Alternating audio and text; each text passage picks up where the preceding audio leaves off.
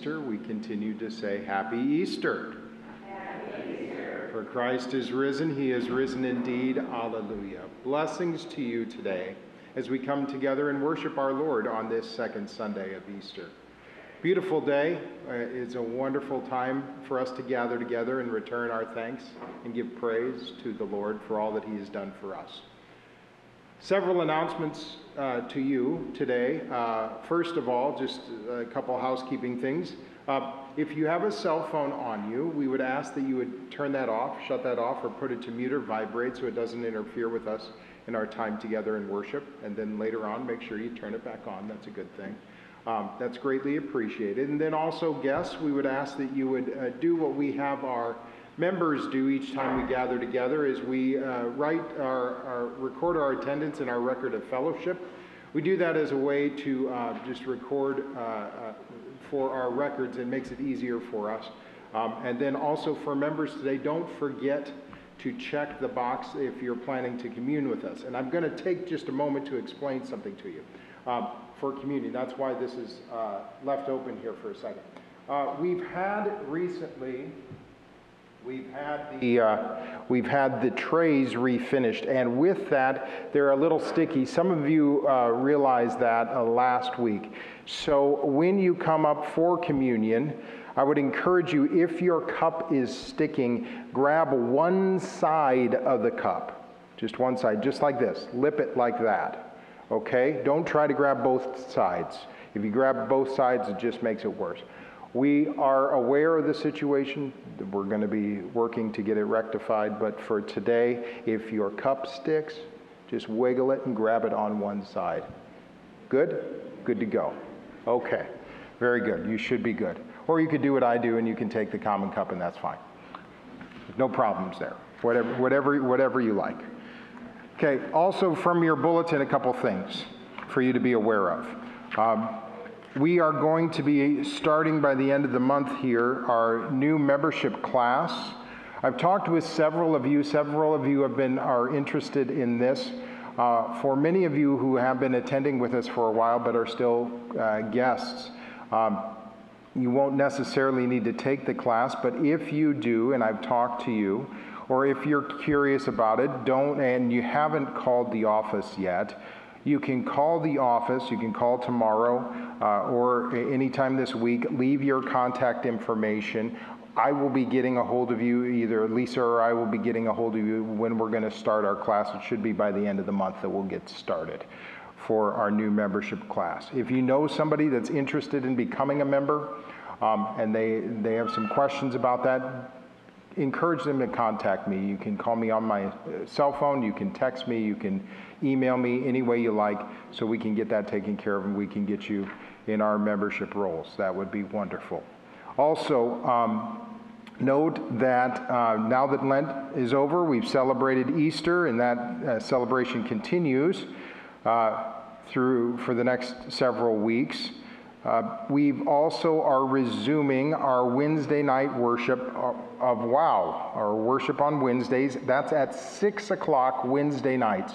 And what WOW is, it's a um, more relaxed, uh, contemporary, perhaps you could use that word, time where uh, we use that kind of praise worship music. But it's a if you miss on sundays it, it is a opportunity for you to come on a wednesday after and worship with us. So the service on wednesdays will be following will be the same theme as the sunday before I want to encourage all of you to come check it out. Uh, Deidre is an amazing musician, as is our wonderful organist up there who's only halfway paying attention. Uh, yeah, she's got music in front of her. That's right. Pastor, stay focused. Okay. Um, anyway, so come check out WOW sometime and see what you think and invite your friends to come Wednesdays at 6. Uh, those are the announcements I have. Don't forget about the benefit dinner as well coming up for Jacob. This is uh, Mrs. Earl's uh, son that'll be going on at Grace at the end of the month. You can read the rest of that in your bulletin.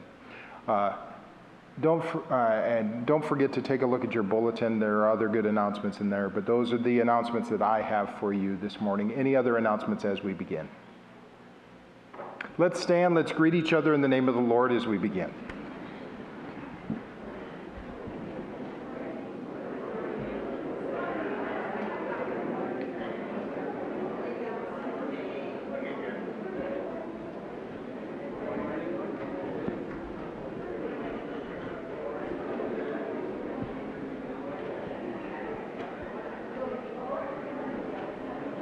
Good morning. Blessings today. Good morning. Blessings. picture of your family on Easter. Sometimes.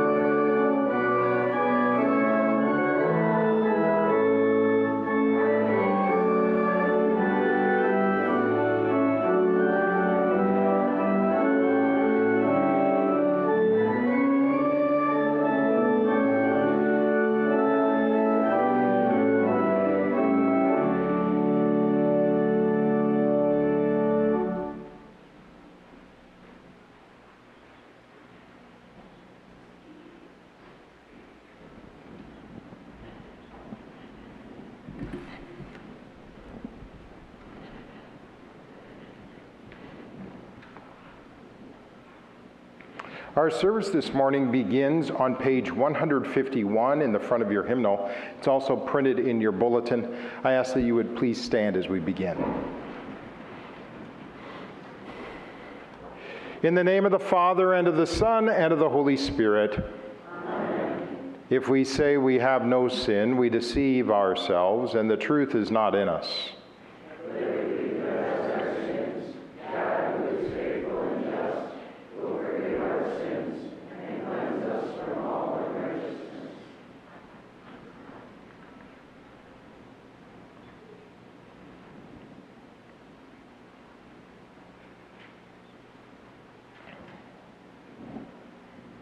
Let us then confess our sins to God our Father.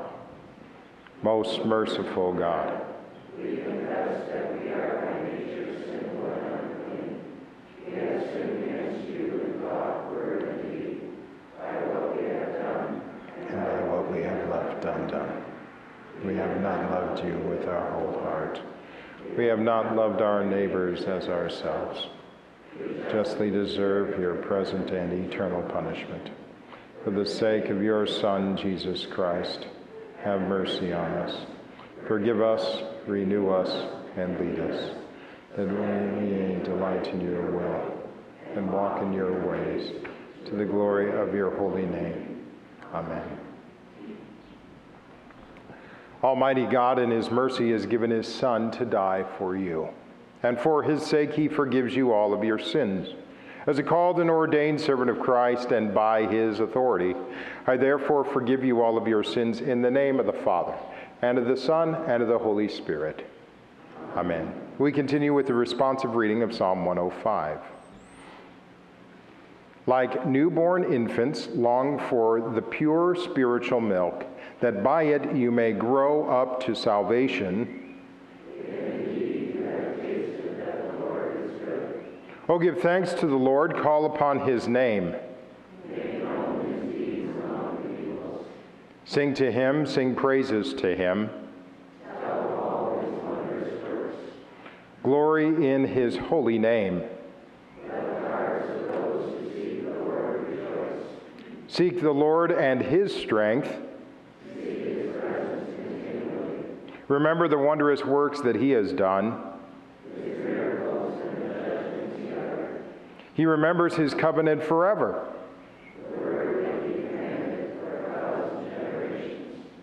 Glory be to the Father, and to the Son, and to the Holy Spirit, as it was in the beginning, is now, and will be forever. Amen. Like newborn infants long for the pure spiritual milk, that by it they may, you may grow up to salvation. In peace, let us pray to the Lord. For the peace from above and for our salvation, let us pray to the Lord. For the peace of the whole world, for the well being of the Church of God, and for the unity of all, let us pray to the Lord.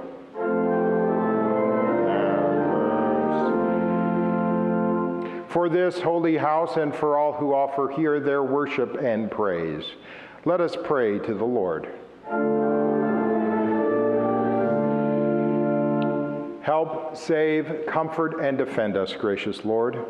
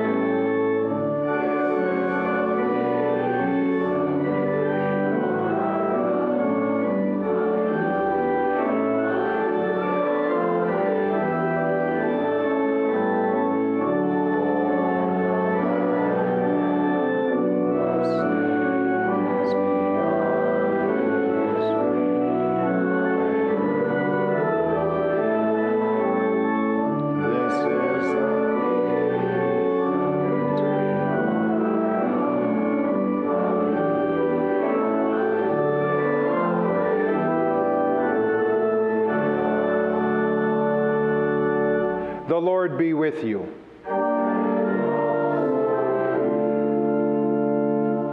Let us pray. Almighty God, grant that we who have celebrated the Lord's resurrection may, by your grace, confess in our life and conversation that Jesus is Lord and God. Through the same Jesus Christ, your Son, who lives and reigns with you in the Holy Spirit, one God, now and forever. Please be seated.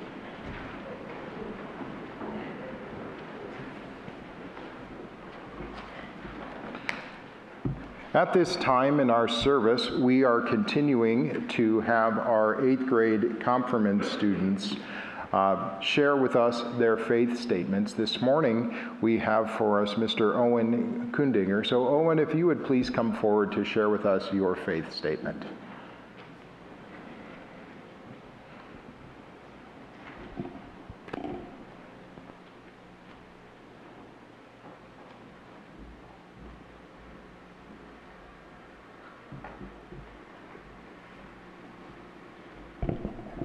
My name is Owen Kundinger. My confirmation verse is John 8, verse 12, which says, When Jesus spoke again to the people, he said, I am the light of the world. Whoever follows me will never walk in darkness, but will have the light of life. I chose this verse because it shows me that as long as I trust in God and believe His word, He will make a path for me to everlasting life with Him. This verse also shows me that no matter what's going on in my life, whether I'm having a good day or a bad day, everything happens for a reason. You may not see the good on the other side of the bad day, but as long as you trust in the Lord, He will light up your path and lead you in the right direction. 1 Corinthians 3, verse 11 says, For no one can lay a foundation other than that which is laid, which is Jesus Christ. God has provided me with a Christian education here at Trinity, and I will use this foundation of faith when faced with challenges. I know God will be with me in high school and lead me in the right direction according to my faith. God will help me not to be nervous or worried about the future because He has already planned the future for me and has lit my path.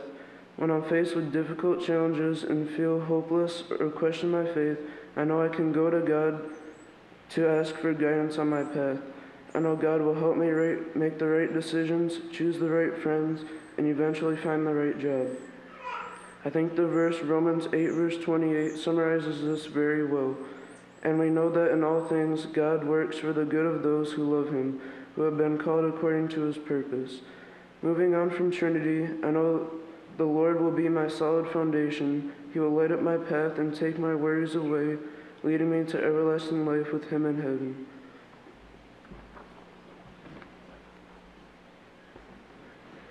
Let's praise the Lord for Owen's words today. Excellent work. Praise God, Owen. Thank you so much. Uh, our fa- statements of faith from our confirmands will continue. Confirmation Sunday is the first Sunday of May. I think it's the fifth. Um, and so um, we look forward to Owen in his confirmation and his wonderful class great group of kids this year. So we look forward to hearing more from them in the next coming weeks and also for this confirmation of faith that's coming in just a couple weeks. Our first reading for today comes from Acts chapter 4. The full number of those who believed were of one heart and soul, and no one said that any, uh, said that any of the things that belonged to him was his own but they had everything in common. And with great power, the apostles were giving their testimony to the resurrection of the Lord Jesus. And great grace was upon them all. There was not a needy person among them. For as many were owners of lands or houses, sold them, and brought the proceeds of what was sold, and laid it at the apostles' feet and it was distributed to each as any had need. This is the word of the Lord. Our epistle for today comes from John's first letter to the church, chapter 1, beginning at verse 1.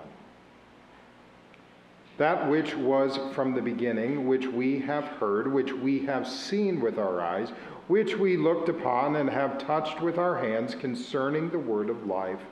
The life was made manifest that we have seen it and testify to it and proclaim to you the eternal life which was with the Father and was made manifest to us.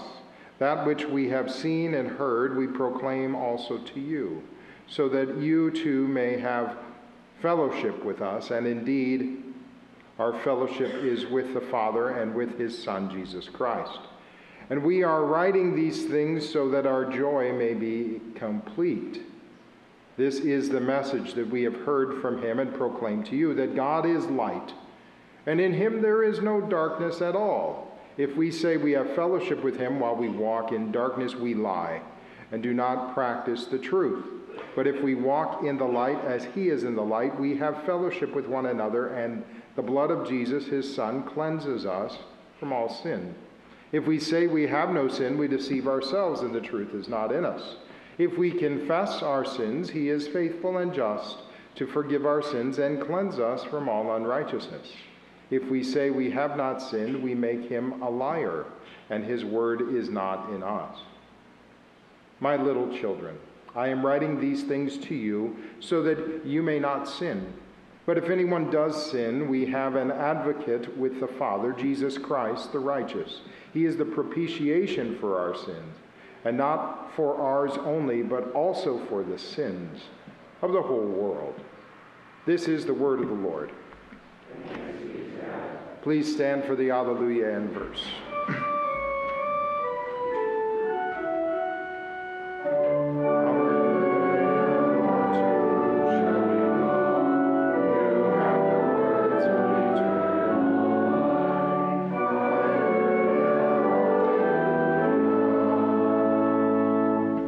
The Holy Gospel according to St. John, the 20th chapter.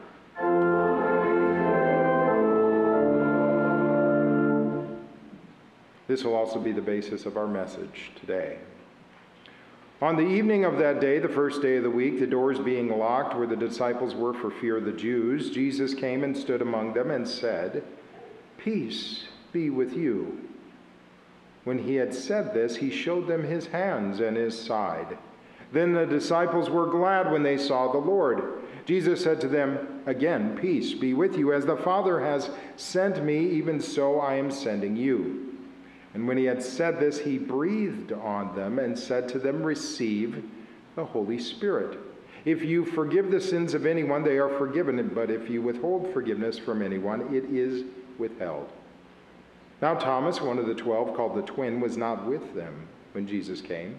So the other disciples told him, We have seen the Lord. But he said to them, Unless I see in his hands the mark of the nails, and place my finger into the mark of the nails, and place my hand into his side, I will never believe. Eight days later, his disciples were again inside, and Thomas was with them. Although the doors were locked, Jesus came and stood among them and said, Peace be with you. Then he said to Thomas, Put your finger here and see my hands.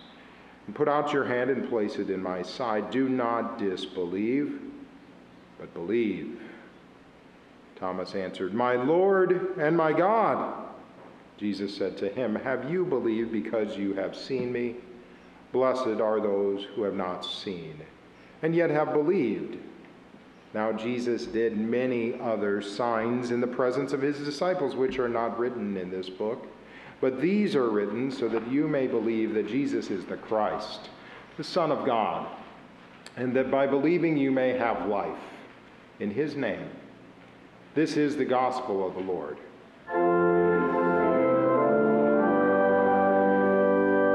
Please be seated for our hymn of the day Make Songs of Joy.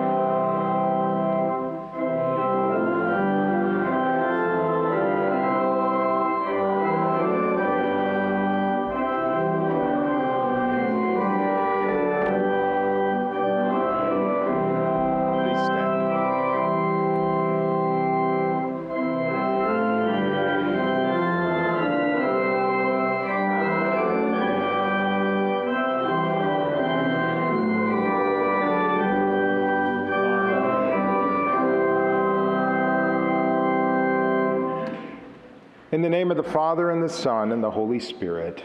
Amen. We pray. Dear Lord Jesus Christ, bless us today as we gather here this morning. Help us to pay attention. Help us to grow in our faith. Be with us and send to each one of us here this morning your Holy Spirit. In your name, Jesus, we pray. Amen. Please be seated. Have you ever been told to stop doing something? Stop it. Quit that. Stop doing that. In school, we're being told to stop. Stop talking to the person who's sitting next to you. Pay attention. Stop sleeping during the sermon. Stop. Got you there. Stop this. Stop that. There's a lot of there's a lot of uh, trying to get people to stop doing things in my household these days. Hey, stop poking your sister. Hey, stop kicking your brother. Stop this, stop that. In the story of Jesus, the account that we read from our gospel today, it's a familiar account. His appearing to his disciples after the resurrection Remember what Jesus says to one of his disciples. He told them, Thomas in particular, to stop doing something. In our translation today, it says, Do not disbelieve, but believe. And more familiar, perhaps, older translations of Scripture say, Stop doubting and believe. Jesus didn't say to Thomas, he didn't say, stop talking or stop messing around. But on Easter night, Jesus appeared to his disciples, and one of them was missing, and it was Thomas. When Thomas shows up about a week later, well, when Thomas shows up later that night, he does not believe that they have in fact seen Jesus, and that Jesus was in fact alive. And he says his famous words Unless I see Jesus with my own eyes, unless I touch his wounded hands and his side, I will not believe. Thomas wants proof. Thomas wanted visible, touchable, tangible proof that Jesus was alive. And then about a week later, we get to the crux of the story it's the Sunday after Easter, and Jesus appears again to the disciples, and he again says to them, Peace be with you. And this time, Thomas is with them, and Jesus tells him what I've been sharing with you to stop. Stop doubting and believe. Do not disbelieve, but believe. And then Jesus speaks these famous words Because you have seen me, you have believed. Blessed are those who have not seen and yet have believed. So we listen today and we think about what Jesus has said to Thomas and what he also says to us. Stop doubting and believe. So, what is it that causes doubt, disbelief? What is it that causes us then in turn to believe? How can I be someone who has never seen Jesus in my entire life and yet strongly believe in him? How, how can I be that person, a person who can put their trust and faith in my living Lord, and yet never have seen him? These are some of the questions that we'll be considering this morning in our time together. Whenever we hear this account, we say to ourselves, I would never be like that Thomas. He was silly not to have believed. He should have listened to the other disciples. I would have been one that would have believed right away. I would have been one of the strong disciples. Is that really what would have happened for you? You wouldn't have been skeptical? Have you ever thought about how much you and Thomas have in common? You do. You and Thomas both have had Christian educations. For you, it's been years of perhaps Sunday school and confirmation class, and even for many of you, Lutheran day school. Maybe even some learning at home that's been given to you by your parents and possibly even grandparents. But Thomas had a better Christian education than you do, some would say. For three years, he was one of those 12 disciples. What an amazing Christian education he had. He was able to watch and listen to everything Jesus said and did right there while it happened. Everything you've ever read in the Bible and more because more happened than is recorded. That's what our gospel says. And Thomas was there. He was one who saw these things firsthand. He saw it all. He heard it all. He asked Jesus questions. He talked about Jesus with the other disciples. He had one of the best Christian educations a person could ever have. And yet here he is in our text today, doubting, even with all your Christian education. Haven't you had a moment of doubt? Do you really believe all this stuff? Why am I a Christian anyway? It is perhaps because my parents were Christian. I come from a Christian heritage. Is there really a heaven? Is there really a Jesus who died and rose from the dead? Do I really believe all this? Have you ever had a moment of doubt? What causes this doubt? Well, for Thomas and for us, it's often the same thing. You see, Thomas saw things and heard things that made him feel like he had put all of his trust in the wrong place. He saw Jesus arrested, even though Jesus was all powerful. He saw Jesus tortured and shouted at by the crowds and crucified, even though Jesus was God and he could walk on water and calm storms and heal people of their diseases. Thomas saw Jesus die, even though Jesus could raise people from the dead. None of this made any sense. These things Thomas saw and heard gave him feelings of confusion and disappointment and sadness. All of these things made him feel like he had put his trust in the wrong place. That's why he's so skeptical when the other disciples tell him that Jesus is alive. That's why he doubted. Isn't that why you and me too, why we doubt sometimes? Yes, I've had a Christian education. Yes, I could get an A on most Bible quizzes. I've been taught to trust God, to trust Jesus. But sometimes I see things. I hear things. I experience things. Bad things.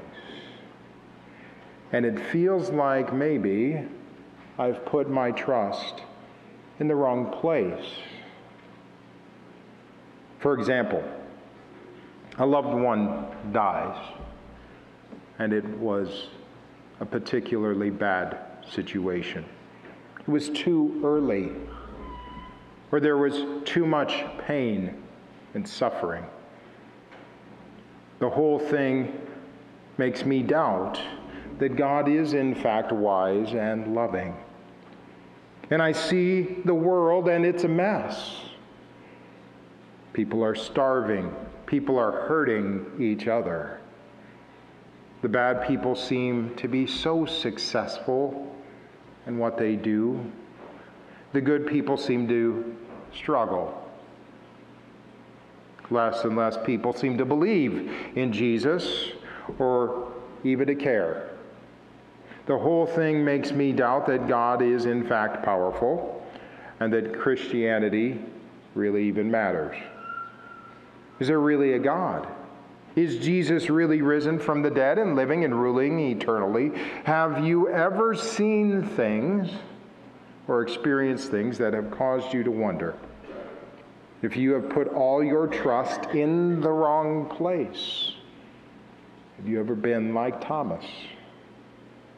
Don't you wish you could have visible proof that everything that you've ever been taught is true?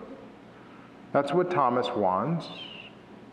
Give me something, God. Show me something so I know that you're real. Just one miracle. Maybe not a miracle. How about just answering my prayer with an obvious yes, Lord? Let me know that you're there. Do something and I'll believe. What is the cure for doubt?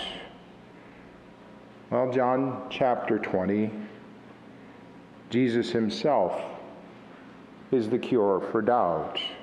When Thomas was standing face to face with Jesus, it changed him from, I will not believe, in our translation, I will never believe, to my Lord and my God.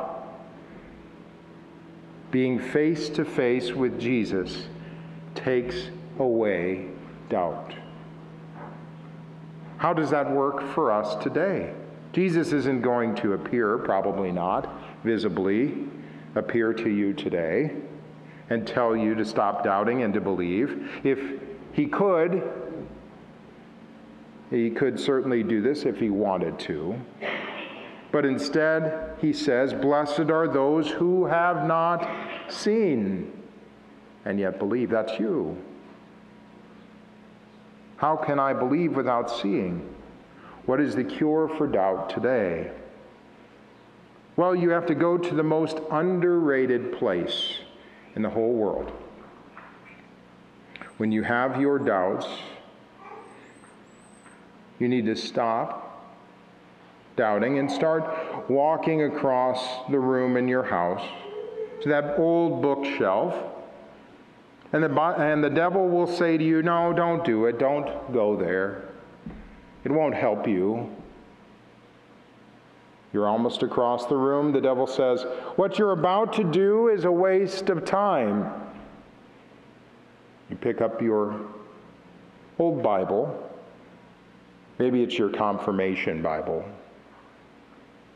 You carry it to your couch and you sit down. And the devil says, Maybe there's something on TV that you can watch. Don't you remember how boring the Bible is? How it doesn't make any sense, so don't read it.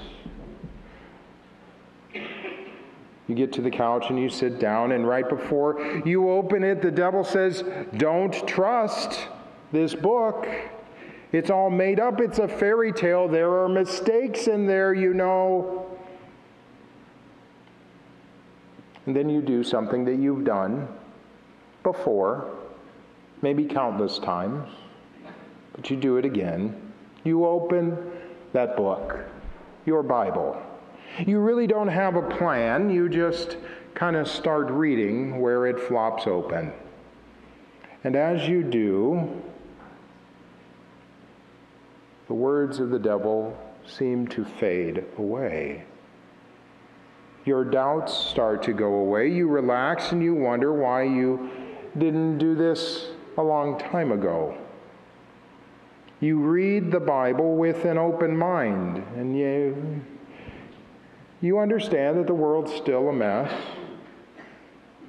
And yes, you've experienced disappointment and pain in your life, but as you read Scripture, you find comfort there.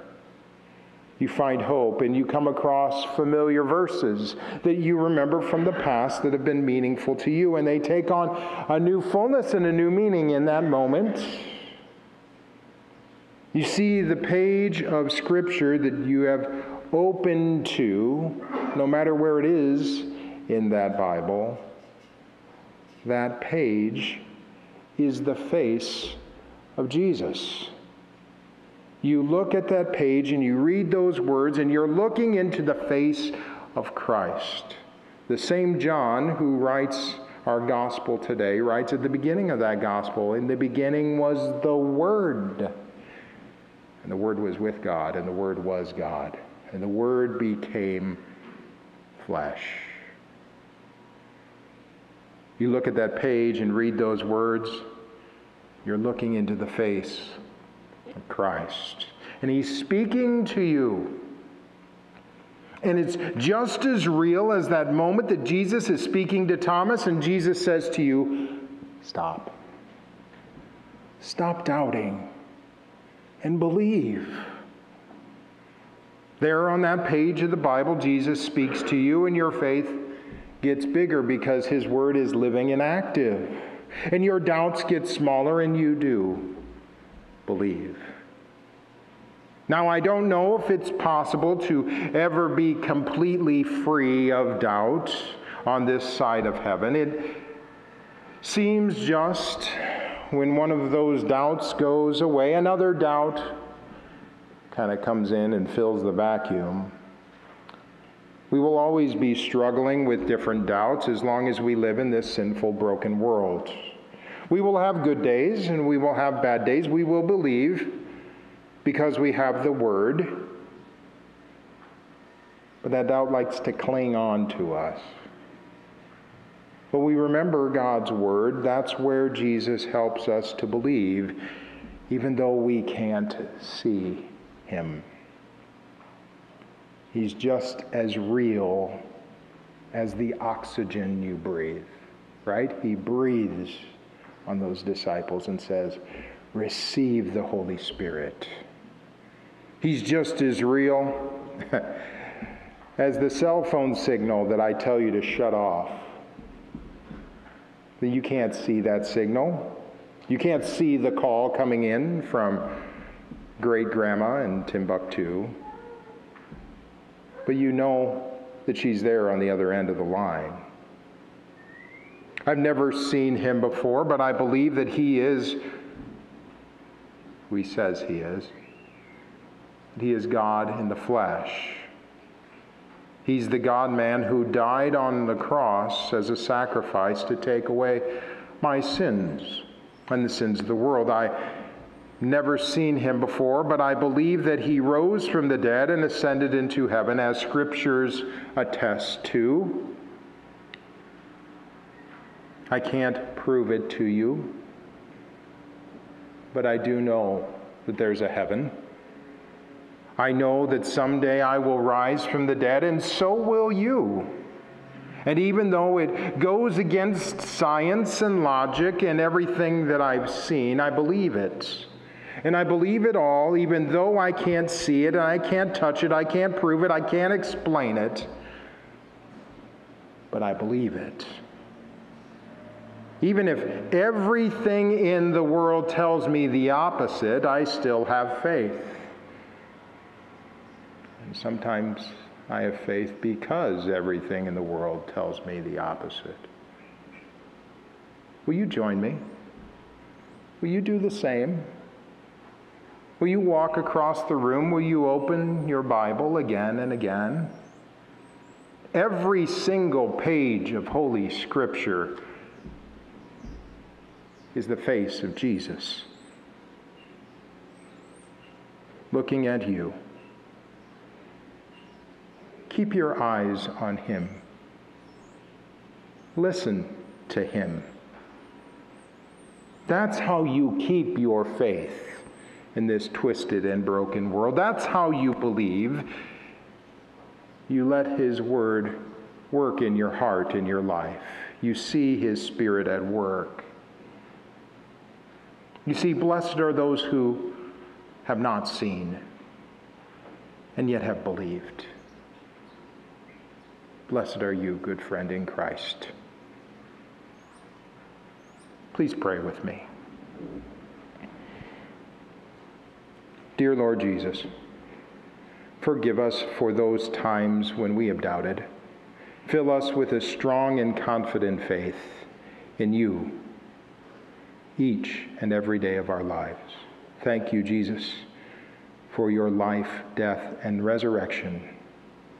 Thank you for the sure and certain hope we have eternal life with you. We love you, Jesus, and we trust in you.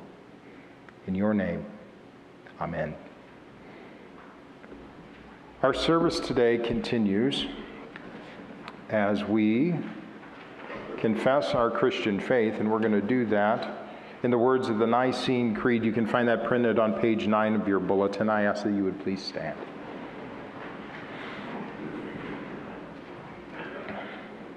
I believe in one God, the Father Almighty, maker of heaven and earth.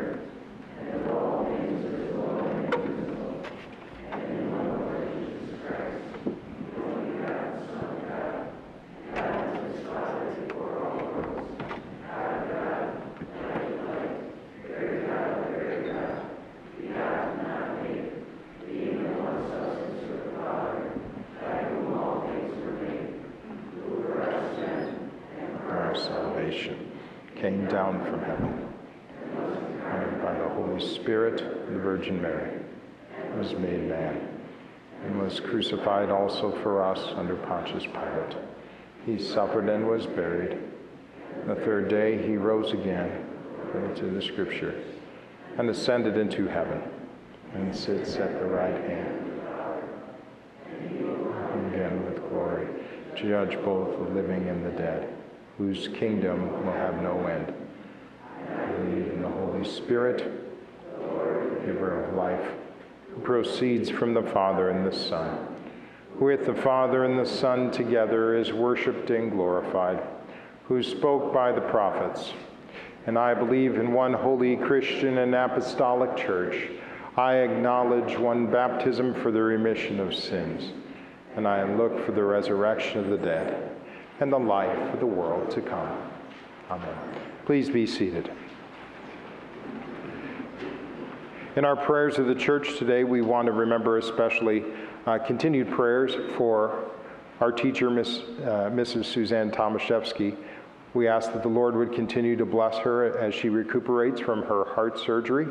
Uh, she's progressing in the right way, uh, little bit by little bit each day, so we pray for God's continued strength and healing for Suzanne. We pray as printed in your bulletin.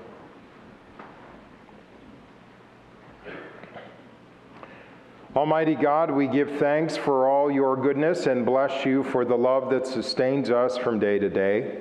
We praise you for the gift of your Son, our Savior, in whom we have redemption, the forgiveness of sins. We thank you for the Holy Spirit, the Comforter, for your holy church, for the means of grace, for the lives of all faithful and just people, and for the hope and life to come. Help us to treasure in our hearts all that you have done for us and enable us to show our thankfulness in lives that are wholly given to your service. Lord, in your mercy, save and defend your whole church purchased with the precious blood of Christ. Strengthen your faithful people through the word and the holy sacraments, making them perfect in love and in all good works, and establishing in them the faith once delivered to the saints. Lord, in your mercy, Send the light of your truth into all the earth. Raise up faithful servants of Christ to advance the gospel both at home and in distant lands. Lord, in your mercy, preserve our nation in justice and honor that we might lead peaceable lives with integrity. Grant health and favor to all who bear office in our land, especially our president, our governor, and our local elected officials. Help them to serve this people according to your holy will. Lord, in your mercy, by your word and Holy Spirit, comfort all those who are in sorrow or need, sickness or adversity. We pray especially today for uh, Mrs. Uh, Suzanne Tomaszewski. We ask, Lord, that you would continue to bless Mrs. T as she uh, grows in her strength. Keep your healing hand upon her that she would be physically restored according to your will. Be with those who suffer persecution for the faith. Have mercy on those to whom death draws near, especially those that we name in our hearts. Bring consolation to those in sorrow and grant to all a measure of your love, taking them into your tender care. Lord, in your mercy, we remember with thanksgiving those who have loved and served you in your church here on earth, who now rest from their labors, especially, again, those that we name in our hearts. Keep us in fellowship with all your saints and bring us at last to the joys of your heavenly kingdom. Lord, in your mercy, all these things and whatever else you know that we need, grant us, Father, for the sake of him who died and rose again and now lives and reigns with you and the Holy Spirit, one God forever. Amen. We now gather our tithes and offerings.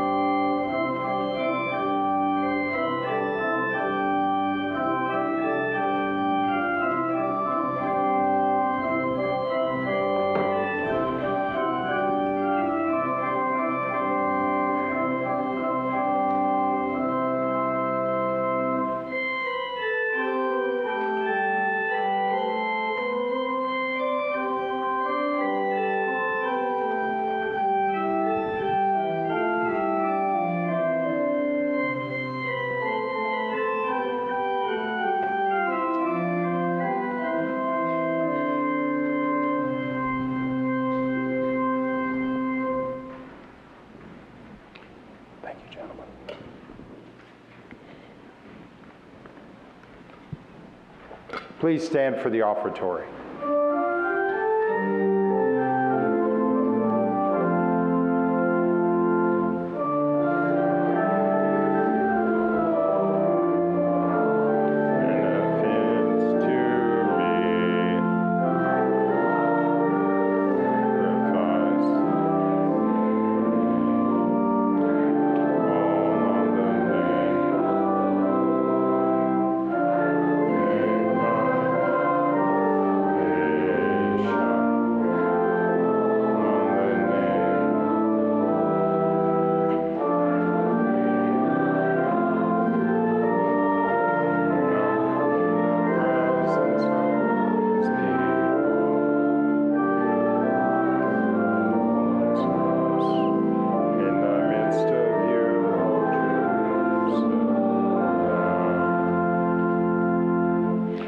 Lord be with you. Lift up your hearts. Let us give thanks to the Lord our God.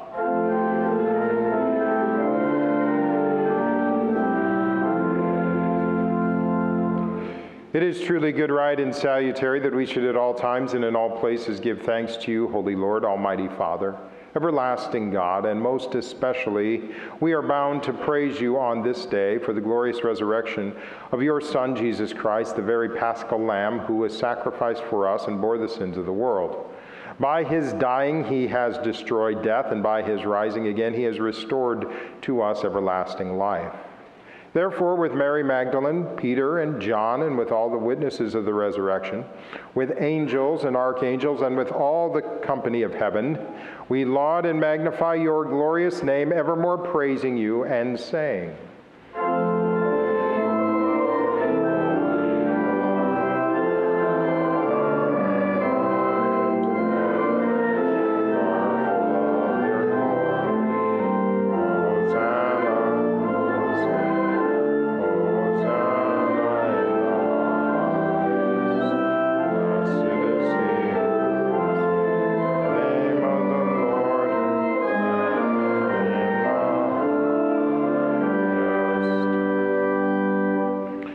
Blessed are you, Lord of heaven and earth, for you have had mercy on those whom you have created and sent your only begotten Son into our flesh to bear our sin and to be our Savior. With repentant joy, we receive the salvation accomplished for us by the all availing sacrifice of his body and blood on the cross. Gathered in the name and the remembrance of Jesus, we beg you, O Lord, to forgive, renew, and strengthen us with your word and spirit. Grant us faithfully to eat his body and drink his blood as he bids us to do in his own testament. Gather us together, we pray, from the ends of the earth to celebrate with all the faithful the marriage feast of the Lamb in his kingdom, which has no end. Graciously receive our prayers, deliver and preserve us. To you alone, O Father, be all glory and honor and worship with the Son and the Holy Spirit, one God, now and forever. Amen. Friends in Christ, now hear the words of our Lord. Our Lord Jesus Christ, on the night in which he was betrayed, took bread. And when he had given thanks, he broke it, gave it to the disciples, and said, Take, eat, this is my body, which is given for you. This do in remembrance of me. In the same way, also, he took the cup after supper. When he had given thanks, he gave it to them, saying, Drink of this, all of you. This cup is the New Testament of my blood shed for you for the forgiveness of sins. This do as often as you drink it in remembrance of me. As often as we eat this bread and drink this cup, we proclaim the Lord's death until he comes. Amen. Come, Lord Jesus.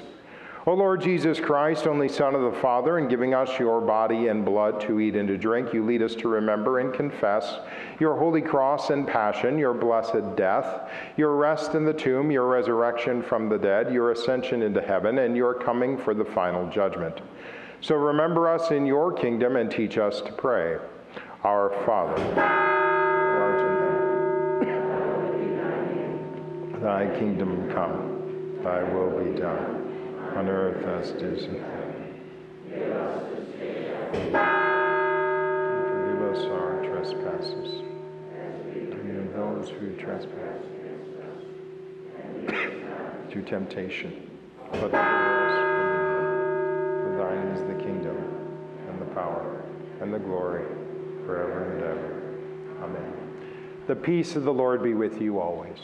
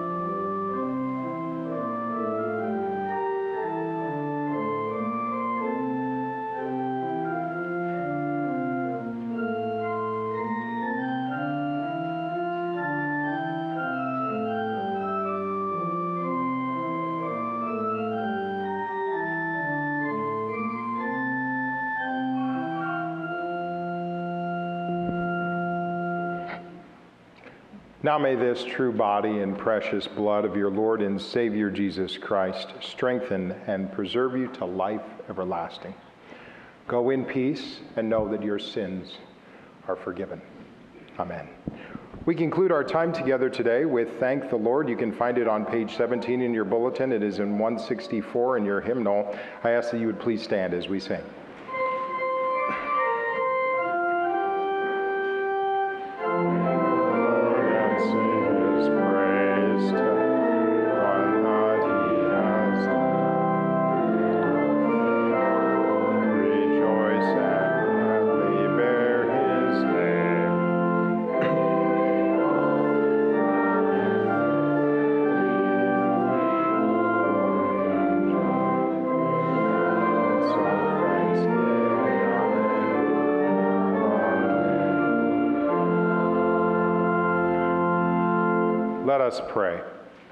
We give thanks to you, Almighty God, that you have refreshed us through this salutary gift, and we implore you that of your mercy you would strengthen us through the same in faith toward you and in fervent love toward one another through Jesus Christ, your Son, our Lord, who lives and reigns with you in the Holy Spirit, one God, now and forever. Receive the blessing of our Lord. The Lord bless you and keep you. The Lord make his face to shine upon you and be gracious unto you. The Lord look upon you with favor and give you peace.